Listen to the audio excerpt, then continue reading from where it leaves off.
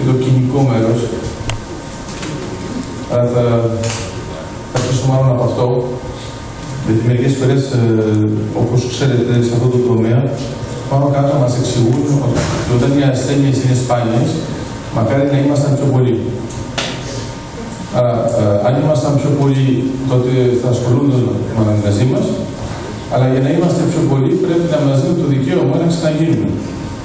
Αλλά μας λένε ότι δεν είναι καλό να ξαναγίνουμε, αλλά δεν είμαστε πολλοί. Και όπως δεν είμαστε πολλοί, δεν, δεν αποτελούμε ενδιαφέρον. Άρα αυτό είναι ένας φαύλος κύκλος που σας εξηγεί τελικά η ιατρική και το είπαν πολύ σωστά, το, το είπατε και σεμνά. Ε, δεν ξέρω πόσο σεμνά μπορεί να είναι αυτό το πράγμα. Ε, πάνω κάτω ασχολούμαστε με το μεγάλο ποσοστό. Άρα, τώρα θα μου πείτε πώς μπορούμε να αλλάξουμε τα πράγματα σε αυτό το τομέα, εφόσον ούτως ή άλλως είμαστε σε μια κατηγορία που είναι μικρό το ποσοστό. Άρα τώρα θα σας δώσω παραδείγματα, δεν πρέπει να εκνευριστείτε αμέσω. Θα το αντέξετε, ούτως σας αντέξετε πολύ χειρότερα στην πραγματικότητα, γιατί αυτό που θα κάνω τώρα θα έχει 0% θανατηφόρο. Εντάξει. Γιατί πρέπει, εγώ είμαι και μαθηματικός, όταν έβλεπα τα νούμερα, έλεγα, εντάξει, Λοιπόν, ο Θεός είναι μεγάλος, θα περιμένουμε να είναι ακόμα πιο μεγάλος από ό,τι φαίνεται. Άρα, ε, εγώ θα ήθελα να σκεφτείτε τι μπορεί να γίνεται όταν έχετε, ας πούμε, 10 ασθενείς, 100 ασθενείς, 1000 ή 10.000. Θα μου πείτε είναι πολύ απλό, θα ασχοληθούν με τις 10.000. Και τώρα σου αλλάζω, ο πρώτος που είναι μόνος είναι πρόεδρος. Της Αμερικής, έτσι το κάνω πιο απλό. Να μην έχετε προβλήματα τοπικά και νομίζετε ότι αφορά μόνο ένα κόμμα. Ε, θα δείτε ότι ξαφνικά, άμα αφορά ένα ασθενή που είναι πολύ ειδικός, όλοι θα ασχοληθούν με αυτόν, ακόμα κι αν διατρέψουν ένα άτομο. Γιατί αυτό που πρέπει να καταλάβουμε και σε επίπεδο στρατηγικής είναι ότι αν διατρέψετε αυτό το άτομο, τότε το εργαστήριό σας θα είναι γραμμένο παντού ότι εσείς το κάνατε αυτό. Αν διατρέψετε 2.000 άτομα και ένα άλλο εργαστήριο διατρέπει 5.000, θα πηγαίνουν στο 5. Άρα το ερώτημα ήταν πολύ ωραία η παρατήρηση να προσέξετε πού θα επιλέξετε. Ε, εγώ πάντως θα επέλεγα εκεί που διάτρεψαν πρόεδρο.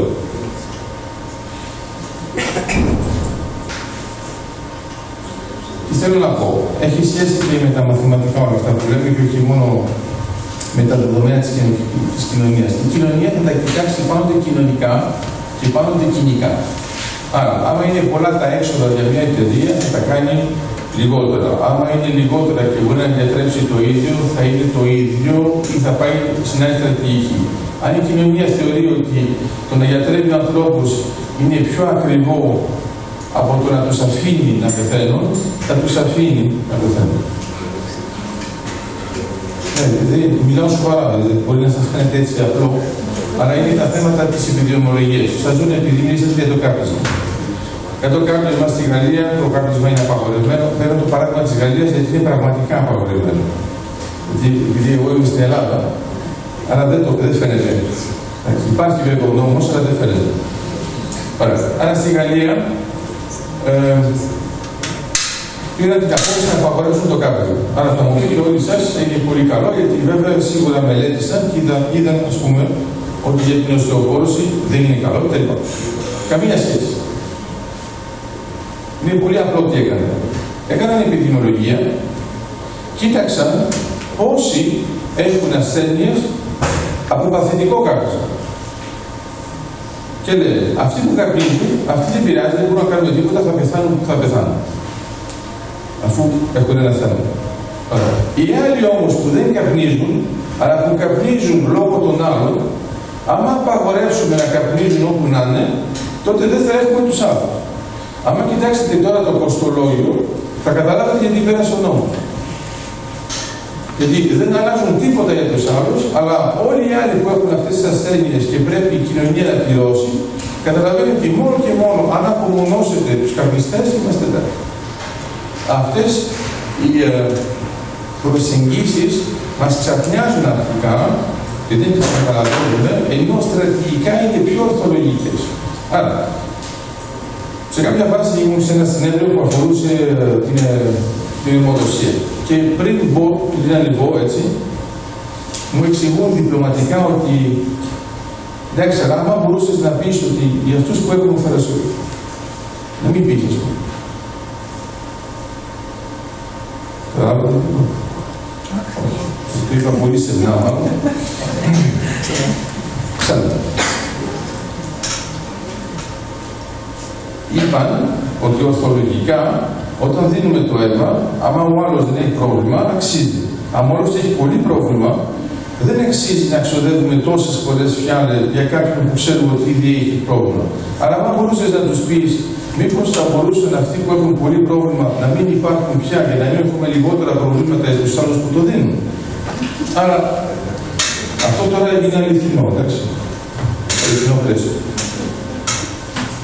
Τους εξήγησα τότε, επειδή μέσα στο βιογραφικό που τελικά καταφέρατε να το διαβάσατε, ήταν και τα τρία, το ένα να το άλλο, ε, υπήρχε το θέμα με τον Καραθοδωρή. Ο φίλος μου, ο Σάκης, είναι ο πρόεδρος του Μουσείου Καραθοδωρή.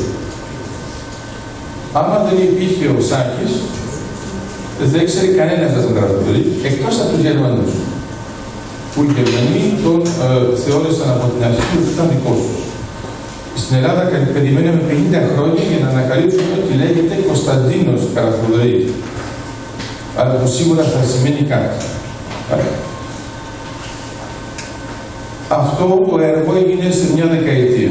Σε μια δεκαετία έχουν αλλάξει τα προγράμματα στα μαθηματικά, στα μουσεία, υπάρχουν σχολεία που έχουν ονομαστεί Καραθοδωρή, υπάρχουν προγράμματα ερευνητικά, όλα αυτά που σας λέω.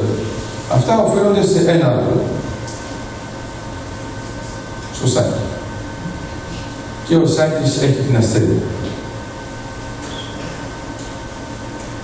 Άρα κανονικά, αν είχαν δίκιο οι προηγούμενοι, ο Σάκης δεν έπρεπε να γεννηθεί.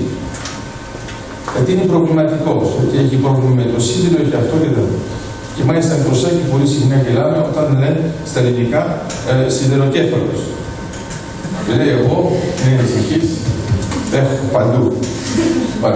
Άρα θέλω να το πω αυτό γιατί μερικές φορές έχουμε την εντύπωση ότι οι ασθενείς είναι πάντοτε άνθρωποι που είναι δυστυχισμένοι. Και ο Σάκης είναι ευτυχισμένος λόγω του Καραθοδωρή. Δεν κάνει τίποτα άλλο ως μαθηματικός από το να αναδείξει το έργο ενός ανθρώπου που είχε πέθανε το 1950. Το θέμα είναι ότι αυτός ο άνθρωπος, αν θέλετε, ήταν το ανάλογο στα μαθηματικά, στη φυσική είναι ο Einstein και καταλαβαίνετε λοιπόν ότι ένας απλός άνθρωπος που έχει αυτή την ασθένεια και έχει πολύ πλάκα, το λέω τώρα στους δύο γιατρού, όταν πηγαίνει στο νοσοκομείο ο Σάκη και του κάνουν μετρήσεις, του λένε ε, εσείς θα πρέπει να είστε ήδη νεκρός με τέτοια νούμερα. Κανονικά δεν υπάρχει ασθενής που έρχεται και κάνει αυτό το πράγμα. Άρα εδώ να δεις ευχαριστίες για το Σάκη γιατί κάνουν κάτι πειράματα που δεν είχαν γίνει ποτέ. Το λέω αυτό με την έννοια ότι για το σπάνιο, το σπάνιο δεν είναι σπάνιο. Μπορώ να το ξαναπώ. Στην πραγματικότητα το σπάνιο είναι σπάνιο μόνο για το κανονικό. Αλλά εμείς θεωρούμε ότι ο Σάκης είναι σπάνιος, αλλά ο Σάκης θεωρεί ότι είναι η ζωή του. Ε, αρχικά τι γίνεται. Η, η ιατρική, και τώρα οι δυο σας επειδή μου αρέσει μην το πάρετε στραβά, καταλαβαίνετε που το πάω. Αρχικά η ιατρική θεωρούσε ότι υπάρχει μόνο ασθένεια. Μετά το μοντέλο άλλαξε και το κάναμε ασθενής. Γιατί με μία ασθένεια δίναμε το ίδιο φάρμακο και όλες ήταν μια χαρά, όλες καθόλου. Αλλά ήταν την ίδια ασθένεια. Μετά καταλάβαμε ότι είχαμε πολλούς παράγοντες και δεν ήταν ακριβώς η ίδια ασθένεια, ήταν νευρικό, αλλά μετά τους ονομάσαμε ασθενείς. Σιγά σιγά λοιπόν καταλαβαίνει η ιατρική ότι τους ασθενείς πρέπει να τους ονομάσουμε, θα δείτε ότι είναι πολύ καινοτόμο, άνθρωποι. Ναι, ναι, ναι. Στο ενδιάμεσο περάσαμε από πελάτες.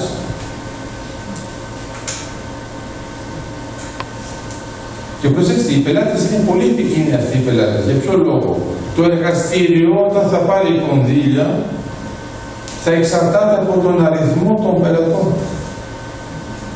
στον οποίο προσφέρει μια υπηρεσία. Γιατί μετά ο άλλος, γιατί εδώ μιλήσαμε για τις εταιρείες, υπάρχουν εταιρείες που είναι χειρότερες που είναι από πίσω από αυτές τις εταιρείες, που είναι οι εταιρείες επενδυτών. Εκεί να δείτε κινησμό που έλεγε δεν έχει καμία σχέση, εκεί πέρα να δούμε. Εδώ μιλάνε μόνο, ε, μιλάνε για βάρος. Για όσους από εσάς είναι χοντροί, μην ανησυχείτε, δεν αφορά αυτό το βάρος, αφορά το βάρος στην δολάρα. Η, η ερώτηση είναι η ασθένειά σου πόσο ζυγίζει. Δηλαδή, εδώ και αν είναι, δεν, μιλάμε καν για το εργαστήριο και τους γιατρούς, μιλάμε πιο πέρα. Άρα, σιγά σιγά καταλάβαμε ότι αυτή η προσέγγιση είναι προβληματική και το πιο σπουδαίο καταλάβαμε ότι η ιατρική μπορεί να έχει αποτελέσματα καλύτερα αν έχει πιο ανθρώπινη προσέγγιση του ασθενούς. Που αυτό φαίνεται εξωπραγματικό αρχικά, δηλαδή καταλάβαμε ας πούμε ότι αν το περιβάλλον του, η οικογένειά του, η μητέρα του, ε, ακόμα και η ψυχολογική υποστήριξη μπορεί να αλλάξει τα δεδομένα ενώ έχουμε δώσει ακριβώς τα ίδια πράγματα. Άρα το προσέχουμε και το βλέπετε για όσους γύρω στα νοσοκομεία. Παλαιότερα ο γιατρός στο νοσοκομείο ήταν ο καθηγητής στο πανεπιστήμιο. Δηλαδή που του μιλούσες ήσουν τυχερός. Κανονικά πρέπει να μιλήσεις στον τρίτο βοηθό αν προλάβαινε. Γιατί συνήθως τρέχει παντού. Καθηγητής περπατάει πολύ αργά. Είναι όπως στο πανεπιστήμιο, καθηγητές στο πανεπιστήμιο δεν απαντάνε σε ερωτήσεις γιατί δεν γίνονται ερωτήσεις. Γιατί κανένας δεν τολμάει στην αμφιθέτω με 500 άτομα να πει συγγνώμη, δεν κατάλαβα τίποτα. Άρα μετά είναι όλοι οι άλλοι βοηθοί που εξηγούν στα εργαστήρια τι έχει πει ο προηγούμενος. Αυτό σας το λέω για να καταλάβουμε το εξής. Πάνω κάτω, το ίδιο γίνεται και με τους συνδέσμους, για αυτή την ασθένεια πριν μερικά χρόνια, θα σας πω ακόμα και δεκαετίες, ο στόχος ήταν όχι η ιατρία των ασθενών, αλλά ήταν η εξαφάνισή τους. Δηλαδή, ο στόχος, αν με κοιτάξετε λίγο και την κοινωνία, πώς το κοίταζε, θεωρούσε ότι μακάρι να μην υπήρχαν αυτοί οι ασθενείς από το να τους γιατρέψουμε. Αλλά ακόμα και οι σύλλογοι εδώ δεν είναι γραμμένο πούμε, το όνομα του συλλόγου, αλλά τέλος πάντων, αυτός θα κάναμε αναφορές. Ακόμα και οι σύλλογοι είχαν μια προσέγγιση του τύπου πώς να είμαστε λιγότεροι. Για να είμαστε λιγότερο προβληματικοί με την κοινωνία. Και το θέμα μου είναι το εξής. Αν αποδείξετε, όχι στην κοινωνία αλλά στην ανθρωπότητα, ότι υπάρχουν άνθρωποι που έχουν αυτή την ασθένεια, που ενώ και δεκαετίες μπαίνουν σε μια διαδικασία που μπορεί όντως να μειώνει την ποιότητα της ζωής του. Εντάξει. Υπάρχει μια δυσκολία, αλλά παράγουν ένα έργο για όλη την ανθρωπότητα. Θα δίνω ένα παράδειγμα πολύ απλό. Ε, φαντάζομαι ότι ξέρετε όλοι τον Στίβεν Χόκινγκ. Ε, ο ε, του είχαν πει ότι θα πεθαίνει σύντομα. Αλλά το ενδιαφέρον είναι ότι του είπαν θα πεθαίνει σύντομα. Αυτός έχει παιδιά η ασθένειά του είναι ένα που την έχει και όσοι από εσάς έχουν δυσκολίες με το πληκτρολόγιο, άμα κοιτάζετε το πληκτρολόγιο του Στίβεν, θα δείτε ότι είναι ένα ποντίκι και κάνοντας μόνο κίνηση από ένα δάκτυλο, κάνει όλο αυτό το αλφάβητο και το έχουν φτιάξει ένα πρόγραμμα μόνο για αυτό που ασχολείται ειδικά με κοσμολογία. Δηλαδή, παραδείγματος χάρη, δεν είναι καν τρεις κι ο κούκος που μπορούν να το χρησιμοποιήσουν αυτό, είναι ένας κούκος. Λοιπόν, μια ολόκληρη εταιρεία πληροφορική σε όλα αυτά έχουν κάνει όλο αυτό το πράγμα για να αποδείξουν τι; Για να αποδείξουν ότι για αυτόν τον άνθρωπο είμαστε ικανοί να κάνουμε όλα αυτά. Άρα για μένα το θέμα μας είναι το εξής.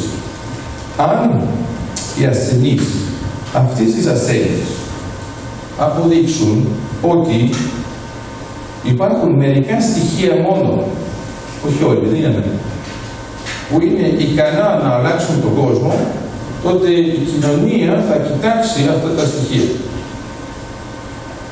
Είναι ένα παράδειγμα χειροπιαστό. Το είπατε πολύ ωραία την οστεοπόρωση. Στην αρχή είπατε ε, πάνω κάτω κάνουμε την ίδια θεραπεία με τους άλλους. Εγώ, με αυτά που ακούω μετά τα υπονοούμενα, λέω και πάλι καλά που πάνε στην ίδια κατηγορία. Γιατί άμα δεν πήγαιναν στην ίδια κατηγορία, θα ασχολούνταν όλοι με την οστεοπόρωση, αλλά όχι για αυτή την ασθένεια, για όλες τις άλλες. Αλλά άμα πηγαίνουν μέσα, αλλά μετά, μετά με προβληματίσατε, γιατί είπατε τελικά δεν έχουν γίνει και πολλές μελέτες και ουσιαστικά κάνετε σαν τη στρατηγική, χρησιμοποιείτε αυτά που έχετε, γιατί δεν έχετε τίποτα άλλο. Και αυτό μετά θα είναι ένα θέμα. Γιατί πολύ, το είπατε μετά, μετά με ξανακάνατε καλό και το χάρηκα, όταν είπατε ότι με αυτό το καινούριο φάρμακο μπορούμε να έχουμε δύο πράγματα καλό. Αλλά εντάξει, είπε κάτι, τώρα μας έσωσε. Ναι, θα το δούμε. Θα το δούμε. Θα το δούμε. Ωραία. Είναι καλύτερο για αμέσω. Θα το δούμε ακόμα. Είναι υπό εξέταση. Θέλω λοιπόν να σας πω το εξής ότι ε, ένας τρόπος να νικήσετε τη μάζα είναι η μοναδικότητα. Θα δίνω ένα άλλο παράδειγμα. Οι δύο μιλητές είναι καλά παιδιά, πήγαν και στο εξωτερικό και στη Γερμανία και στη Γαλλία, είχαν όλα αυτά, τους βοήθησαν, έγιναν αυτό που έγινε. Λοιπόν, τώρα θα πάρω τον Άλμπερτ Αϊνστάιν για να το χαρίσει γιατί είναι τις ίδιες κατηγορίες όσο αφορά την εθνικότητα. Ο Άλμπερτ Αϊνστάιν σε κάποια φάση του είπαν, άμα θες να έρθεις στο Πρίνστον. Άρα όλοι σας τώρα πιστεύετε, ειδικά οι Κύπριοι, ότι σίγουρα θα τον εντόπισαν, θα του έδωσαν υποτροφία κτλ. Γιατί ήταν πολύ καλός μαθητής. Βέβαια, καμία σχέση. Το πιο ωραίο είναι ότι ε, τον κάλεσαν για να πάει σε ένα κτίριο που δεν υπήρχε. Άρα του είπαν, αν εσύ έρθεις, εμείς το φτιάχνουμε. Και αυτό είναι το Institute for Advanced Studies στο Princeton. Πολλοί από εσάς, ειδικά οι Έλληνες, βάζω πακέτο Κύπριους και Ελλαδίτες, θεωρείτε ότι το σημαντικό είναι το Harvard, είναι το MIT κτλ. Αλλά βέβαια ξεχνάτε ότι αυτά είναι ιδιωτικά. Βέβαια ξαφνικά η πολιτική μας υπενθυμίζει ότι είναι ιδιωτικά και ξαφνικά ακούμε για πολιτικούς που πέρασαν από αυτά και λέει ο Θεός να φυλάει. Βέβαια δεν ξέρετε πώς πέρασαν, αλλά βέβαια μπορώ να σας δώσω μια ένδειξη. Για το Πρίστον και τόσα να έχετε δεν παίρνετε. Γιατί δεν κάνει κανένας μια αίτηση, αυτοί σας καλούν. Άρα τα δεδομένα είναι εντελώς διαφορετικά. Σας δίνω το ανάλογο με το κολέγιο της της ε, Γαλλίας, το Collège de France. Στο Collège de France σας επιλέγουν αυτοί που είναι μέσα και σας επιλέγουν για να κάνετε μαθήματα μόνο και μόνο για το έργο που παράγετε εσείς. Δεν θα μιλάτε για τους άλλους, θα μιλάτε για αυτό που κάνετε εσείς. Που αυτό είναι πάρα πολύ ωραίο γιατί όλοι μας μας αρέσει να μιλάμε για τον εαυτό μας. Το θέμα είναι ότι αν πραγματικά σας δώσουν τη δυνατότητα να μιλάτε για τον εαυτό σας, ε, θα δείτε ότι το χρονικό διάστημα είναι μικρό στο επιστημονικό επίπεδο, γιατί πόσα να πείτε. Άρα, αν θα σκεφτείτε ότι στο Κολέγιο Χρόνου υπάρχουν άνθρωποι που έμειναν 40 χρόνια και έλεγαν τις έρευνε τους, τις οποίες βέβαια τις συνέχιζαν την ώρα που πήγαιναν. Ε, αυτό το κολέγιο δίνει μαθήματα τζάμπα. Δεν υπάρχει εγγραφή. Δεν μπορείτε να πιστοποιήσετε ότι παρακολουθήσατε τα μαθήματα. Αλλά μέσα, άμα κοιτάξετε τους καθηγητές, είναι γεμάτο από βραβεία Νόμπελ, μετάλλια Φίλτζερ και αυτοί τους λένε. Κάνε εσύ το μάθημα, εμείς πληρώνουμε. Οι άλλοι όσοι θέλουν να σας παρακολουθήσουν. Τι θέλω να σας πω; Είναι προσεγγίσεις που αφορούν το σπάνιο. Δεν αφορούν την πλειοψηφία. Το ξέρουν ότι δεν γίνεται. Τώρα, άμα σας δώσω ας πούμε ένα θεώρημα και σας πω, συμφωνείτε ναι ή όχι. Το πιο πιθανό, αν δεν είστε μαθηματικοί, είναι να μην συμφωνείτε ότι υπάρχει, μετά θα βγάλω την απόδειξη και θα πείτε αν τελικά υπάρχει. Δηλαδή, άμα βγάζαμε τα θεωρήματα στη δημοψηφίσματα, θα είναι σίγουρο ότι θα είχαμε σκοτώσει τον Πυθαγόρα, τον Αρχιμίδη, γιατί θα λέγανε, εντάξει, αυτή είναι δική τους. Στην πραγματικότητα, η ιστορία της ανθρωπότητας τι μας δείχνει. Μας δείχνει ότι μόνο μερικά άτομα μας έχουν φτιάξει όλη την ιστορία τους. Και ρωτάω τώρα, αν ο Αρχιμίδης είχε την ασθένειά σας.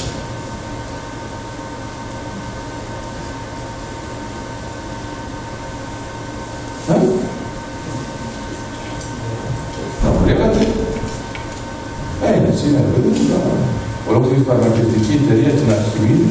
Ναι, αυτά που λέγατε αμέσως, ναι, αλλά είμαι Αρχιμίδη. Αυτό που θέλω να σας πω είναι το εξής. Όσο θα είστε ασθενείς και μόνο θα διαφορούν. Αν ο ασθενής έχει βιογραφικό και ξαφνικά ξαναγίνεται άνθρωπος και το δείχνετε το βιογραφικό, τότε θα δείτε ότι έχετε ένα θέμα, δεν μπορούν να σας ζυγίσουν με ποσοστά. Αυτό είναι πολύ σημαντικό για αυτόν τον τομέα, γιατί το βλέπετε και για τους μικρούς. Δηλαδή, πολύ ωραία, ε, υπάρχουν πειράματα που πάνε καλύτερα με τους πιο μικρούς παρά με τους μεγάλους κτλ. Το θέμα είναι ότι πώς αποφασίζουν οι γονείς αν θα πάει ο μικρός να το κάνει. Γιατί εγώ την ώρα που μιλούσες, έβλεπα τις κυρίες εδώ, εσύ, που έκαναν. Όταν έβλεπα, ειδικά όταν είδαν τα νούμερα, άρα γιατί αυτό είναι ένα άλλο θέμα που θα σας το παρουσιάσω ως θεωρία παιχνίων. Αν πάτε στο καζίνο Σας δίνω εγώ τα λεφτά. Εντάξει, μην αγχωθείτε. Άρα, σας δίνω 1000 ευρώ και σας λέω. Θα ποντάρεις με μία τα 1000 ευρώ ή με 10 φορές. 100. Είναι πολύ απλό. Όλοι σας θα πάτε στην κατηγορία 10 φορές. Στη θεωρία παιχνίων αυτό λέγεται η καταστροφή του παίχτη. Όσο πιο πολλές φορές παίζεις, τόσο πιο συχνά χάνεις. Άρα η θεωρία λέει όταν το παίρνιο είναι άδικο, υπάρχουν δύο τρόποι να κερδίσεις. Ή δεν παίζεις. Δεν είναι κάτι. Λειτουργεί αυτό. Η, ο Σον Σου λέει στη στρατηγική, οι μεγάλες νίκες είναι αυτές που δεν έχουν γίνει με πόλεμο. Δεν έπαιξες. Γιατί πρέπει να επιλέξεις πότε θα παίξεις. Εδώ είναι πρέπει να επιλέξεις αν θα κάνεις την εγχείρηση ή όχι. Και αυτό που σας λέει λοιπόν η θεωρία Βερνίνη είναι ότι αυτά που είναι ορθολογικά λόγω της θεωρίας δεν είναι φυσιολογικά για μας. Εδώ από ό,τι φαίνεται από τα αποτελέσματα που έχουμε προς το παρόν, δυσκολευόμαστε να πάρουμε την άλλη απόφαση που θα έχει μια θεραπεία με μία, γιατί βλέπουμε ότι έχουμε και θανατηφόρο. Έτσι δεν είναι. Ωραία. Άρα τώρα θα σας κάνω τον δικηγόρο του διαβόλου τι θα σας πω, ρε παιδιά, ποιο είναι το πρόβλημά σας; Τα θανατικό φόρα ήταν μόνο 12%. Βλέπετε όμως ότι το 12% επειδή είναι θανατηφόρο και είναι μη αναστρέψιμο σαν αποτέλεσμα, σας επηρεάζει πολύ περισσότερο από αυτά που έχουν επιτευχθεί. Ωραία, αν το κάνουμε ακόμα χειρότερο, θα στεναχωρηθεί τώρα, θα μου πει αυτό θα είναι σε 10 χρόνια θα το πετύχουμε. Εγώ θα σας κάνω 1% θανατηφόρο. Όχι 12, 1. 12 φορές καλύτερο. Και ρωτάω, θα πηγαίνετε.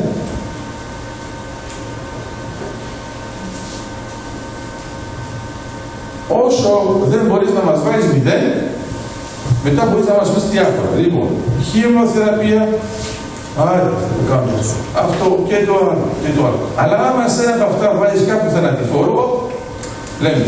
Και προσπαθώ να σας πω το εξής. Στην πραγματικότητα, όταν σκέφτεστε με αυτόν τον τρόπο, είναι ο σωστός τρόπος και είναι ότι αξιολογείται το σπάνιο περισσότερο από τη μάζα. Γιατί το σπάνιο έχει ένα πρόβλημα. Είναι μη αναστρέψιμο. Δηλαδή, πάνω κάτω σας δίνει την επιλογή και λέτε εγώ δεν το κάνω τώρα, θα το κάνω σε δύο χρόνια. Γίνεται; Αν όμως το κάνατε και είστε νεκρός, δεν μπορεί να πείτε θα το κάνω σε δύο χρόνια. Άρα, στη ζωή μας κάνουμε πολλές κινήσεις. Εντάξει. Οι περισσότερες είναι άχρηστες. Και είναι αναστρέψιμες. Τις κάνουμε, δεν τις κάνουμε, δεν πειράζει. Και υπάρχουν και μερικές πράξεις Αυτές είναι μη αναστρέψιμες. Άμα ξαναθυμηθείτε την ηλικία σας, στην αρχή, θα δείτε ότι θα θυμηθείτε μερικά πράγματα. Αυτά τα μερικά πράγματα σας καθορίζουν από όλο. Τα άλλα είναι αγέλιστοι. Υπάρχουν μέρες που δεν έχετε κάνει τίποτα το ιδιαίτερο. Έτσι. Ακόμα για το αντιβαστήριο. Και υπάρχει μία μέρα που κάνεις μία ανακάλυψη. Μία, μία. Εντάξει. Εμείς τα μαθηματικά είμαστε χειρότεροι γιατί εμείς έχουμε αιώνες ήττα και κάπου κάπου βρίσκουμε ένα πράγμα. Άρα είμαστε συνηθισμένοι να χάνουμε, αλλά όταν το κερδίζουμε, το κερδίζουμε το πακέτο. Υπάρχουν μερικοί μαθηματικοί που τους ξέρετε από ένα θεωρητικό. Δηλαδή, 70 χρόνια ο άνθρωπος, ένα θεωρητικό. Αλλά έχει μείνει. Και είναι το όνομά του. Τώρα το ερώτημα είναι το εξής. Αν σκεφτόμαστε λοιπόν μόνο με ποσοστά, δεν θα τα βγάλουμε πέρα. Αν σκεφτόμαστε με το σπάνιο, τότε θα αλλάξουμε τα δεδομένα. Αν σκεφτόμαστε τώρα ότι το σπάνιο είναι το σπάνιο μόνο για τους κανονικούς και είναι φυσιολογικό για τους άλλους, τώρα πρέπει να σκεφτείτε τι σημαίνει ότι ζω στην Κύπρο. Και δεν ξέρω αν το προσέξετε, αλλά μας το είπε λίγο διακριτικά, σχεδόν μικρού, ότι στη Συρία πριν είχαμε ήδη ένα πρόβλημα. Άρα είναι μερικοί από εσάς που θεωρούν ότι το να είσαι εδώ με αυτή την ασθένεια στην Κύπρο είναι χάλια. Γιατί σκέφτονται ότι είναι, επειδή είναι μικρή η Κύπρος και επειδή είναι μικρός ο πληθυσμός, είναι μικρή η ασθενής, αλλά ποιος θα ασχοληθεί μαζί μας. Αλλά μετά μα είπε κάτι πολύ ωραίο, το οποίο ήταν, αν έχουν άλλοι την ίδια π.χ. Ιταλία, επειδή η Ιταλία είναι τόσο, 40% της Ιταλίας δεν είναι μικρό μέγεθος, άρα βλέπετε ότι εδώ δικτυωνόσαστε. Δηλαδή δεν έχει σημασία αν είστε μόνο εδώ που θεωρείτε ότι είστε απομονωμένοι. Είναι μήπως κοιτάζετε τη δικτύωση με άλλες κατηγορίες που σας επιτρέπουν να σας κοιτάξουν συνολικά και μόνο όχι εδώ. Εγώ πολλά προβλήματα που βλέπω ακόμα και στην προσέγγιση των Κυπρίων είναι ότι κοιτάζουν το πρόβλημα τοπικά. Αυτή η ασθένεια έχει αποδείξει ότι δεν υπάρχει τοπικότητα. Πρέπει να το κοιτάξετε μεσογειακά, όπως το λέει η ίδια, και εκεί πέρα να δημιουργηθεί ένα μεσογειακό δίκτυο. Τότε υπάρχει μια διαφοροποίηση στην προσέγγιση. Αλλά πάντως, αυτό που πρέπει να έχουμε συνεχώς στο νου μας είναι ότι είναι η φράση του Πονκιαρέ. Αλλά ο Πονκιαρέ λέει, στην ιστορία του σύμπαντος, ο γαλαξίας μας είναι τίποτα. Στην ιστορία του γαλαξία, το ηλιακό μας σύστημα είναι τίποτα.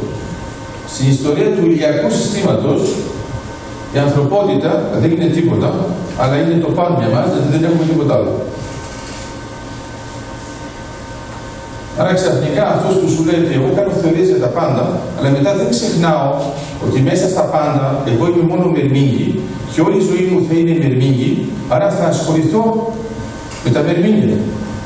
Και από τα μερμήγια θα βγάλω πράγματα.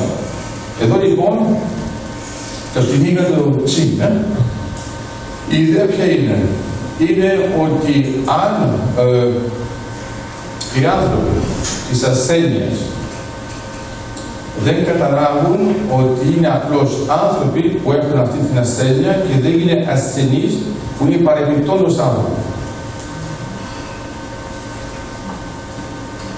Δηλαδή ξέρετε μερικές φορές νιώθετε έτσι. Δηλαδή σας πηγαίνει, είναι όπως εμείς ας πούμε, ε, πώς να το πω τώρα, στο ΙΚΑ, ΙΚΑ που βλέπετε στο ΙΚΑ, στο ΙΚΑ είστε αριθμός. Εντάξει. Πώς το λένε το ΙΚΑ στην Κυριακά. Κρατικές ασφαλείς. Πώς; Ωραία, εσείς ασφαλείς. Ωραία. Λοιπόν, όντως όλοι μπορούσα να σας βάλω και μια τράπεζα όπου θέλετε. Αλλά η τράπεζα έχει και δεύτερο νούμερο, το άλλο έχει μόνο ένα νούμερο. Άρα ξαφνικά γίνεσαι ένα νούμερο. Όσο είσαι ένα νούμερο, είσαι τόσο όσο είναι ένα νούμερο. Τώρα σας σταματάει η αστυνομία. Να έρθει είσαστε στον αυτοκίνητό Το πρώτο πράγμα που λέει ένα Έλληνα τι. Δεν έτρεχα. Αυτό είναι το δεύτερο. το πρώτο είναι ξέρεις ποιος είμαι εγώ. Ε, ο αστυνόμος δεν το βλέπεις με το ραντάρ ποιος είσαι εσύ, αλλά σε σταμάτησε. Την ώρα που σε βλέπει, του λες: Ξέρεις ποιος είμαι εγώ. Μετά, άμα σας δυσκολεύει ο άλλος, που λέτε: Βάλει το, θα το βγάλω. Αυτό βέβαια τους εκνευρίζει. Μετά αρχίζετε, στην Κύπρο είστε πιο ειλικρινείς από την Ελλάδα. Στην Κύπρο μιλάτε για το μέσο. Στην Ελλάδα δεν το μιλάμε, το χρησιμοποιούμε μόνο. Άρα, ε, ο κανονικό Έλληνας χρησιμοποιεί το. Εσύ δεν ξέρεις την Γερμανία, δεν ξέρεις. Λοιπόν, ε, στην, ε, το μέσο λοιπόν στην Ελλάδα το κρύβουμε, αλλά όταν πετυχαίνει λέμε ο Θεός είναι μεγάλος. Εντάξει, Στην Κύπρο είναι εσύ έχεις βουλευτή, εγώ έχω υπουργό. Το σώμα. Εμένα μου αρέσει, έχει πολύ πλάκα. Γιατί είναι σαν να παίζεις ποκέρ με τα χαρτιά κάτω. Δεν είναι πόντα. Άρα, τι θέλω να πω με αυτό. Γιατί δεν λέτε ξαφνικά εκεί πέρα τον αριθμό της ασφάλισης; Γιατί δεν λέτε τον αριθμό; Στην πραγματικότητα κάνετε δικτύωση. Και εξηγείτε στον άλλο ότι εγώ δεν είμαι απλώς ένας οδηγός αυτοκινήτου. Είμαι ο τάδε. Πόσες φορές οι ασθενείς όταν πηγαίνουν σε ένα χώρο λένε ότι είναι ο τάδε; Ποτέ. Δεν προλαβαίνουν, αφού είναι νούμερο. Στην πραγματικότητα, αν κοιτάξουμε την ανθρώπινη προσέγγιση της ιατρικής, σιγά σιγά θα καταλάβουμε ότι υπάρχει κάτι λίγο πιο πάνω και είναι η προσέγγιση της ανθρωπότητας. Αν λοιπόν, σας δίνω ένα παράδειγμα διαφορετικό. Τι ποσοστό είναι αυτό που έχουμε με τους αριστερότερους.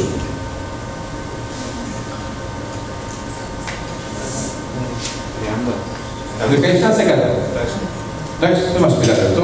Ωραία.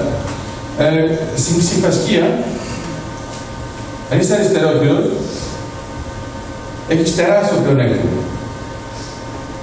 Δύο πλεονέκτηματα. Ο εγκέφαλος, λόγω της δομής, είναι στο σπάνια σπορ που έχει χρησιμότητα εδώ μέσα. Και το δεύτερο είναι ότι οι περισσότεροι τραβάνε ψήφος με δεξιόχειρο. Άρα οι δεξιόχειροι έχουν συνηθίσει να πλακώνονται με δεξιόχειρο. Όταν εσείς έρχεστε με αριστερόχειρο, όλα τα βλέπουν ανάποδα. Το χειρότερο για αριστερόχειρο τι είναι, ο αριστερόχειρος.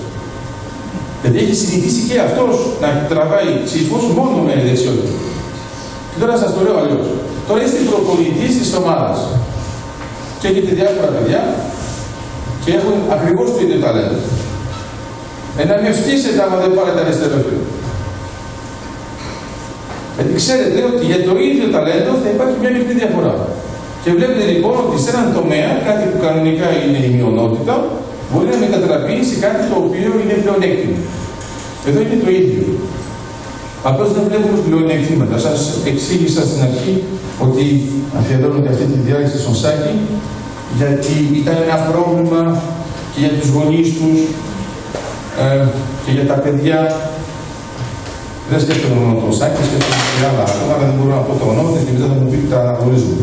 Αλλά έχει ένα θέμα, πάλι θέμα πιθανότητας, αν έχει το στίγμα, αν πρέπει να κάνετε. Άρα σας λέει η κοινωνία, αν έχετε και οι δύο το στίγμα, μην κάνει. Πάνω σε αυτό. Όταν σας το λέει αυτό η κοινωνία, θα ήθελα να μου πείτε για ποιο λόγο. Σας το λέει για το καλό σας ή επειδή θεωρεί ότι ανακεφαλή θα ξοδέψετε περισσότερα λεφτά από άλλους.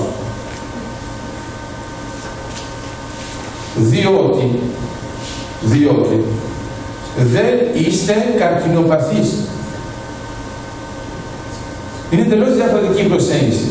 Δυστυχώς, μόνοι σας μπαίνετε στην κατηγορία των ασθενειών. Όμως υπάρχουν ασθένειες που δεν μπορείς να ζήσεις με αυτό και υπάρχουν ασθένειες που μπορείς. Ο άλλος όταν έχει καρκίνο σοβαρό και πρέπει να τον πάει συνεχώς σε χημειοθεραπεία κλπ. Δεν μιλάμε πια για ποιότητα ζωής, σε κάποια φάση μιλάμε για επιβίωση. Εδώ δεν μιλάμε για επιβίωση. Μιλάμε για ποιότητα ζωής, υπάρχει μια δυσκολία, να πρέπει να καταλάβουμε το εξής δεν είναι νοητική υστέρηση αυτοί που αποφασίζουν να κάνουν αυτό που τους λένε να μην κάνουν. Το θέμα είναι τι θα κάνουν με αυτό που δημιούργησαν. Δηλαδή με το παιδί. Θα ασχοληθούν με το παιδί τους ως ασθενείς και θα κάνουν το ίδιο που κάνει η κοινωνία ή θα ασχοληθούν με το παιδί τους ως μικρός άνθρωπος που θα παράγει ένα έργο και θα τους δικαιώσει για την επιλογή τους, γιατί μετά οι άλλοι θα λένε πάλι καλά που δεν ακούσατε την κοινωνία και το φτιάξατε αυτό το παιδί. Άρα όλα αυτά που σας λέω είναι για αυτά τα παιδιά. Άρα εμείς όταν είμαστε δίκαιοι και δεν μπορεί να είμαστε αθώοι, είμαστε πάνω από την πλευρά των αθώων. Άρα μην ακούτε την κοινωνία η οποία κοιτάζει μόνο και μόνο με ποσοστά το τι γίνεται. Κοιτάξτε τι θέλει η ανθρωπότητα και να δείτε ότι δίνει σημασία μόνο στην σπανιότητα. Αν αυτό το συνειδητοποιήσουμε και καταλάβουμε ότι δεν είμαστε στην ίδια κατηγορία, τότε θα δείτε ότι ο στόχος δεν είναι η εξαφάνιση, αλλά είναι η ζωή. Αυτό ήθελα. Να είστε καλά. Ευχαριστώ πολύ.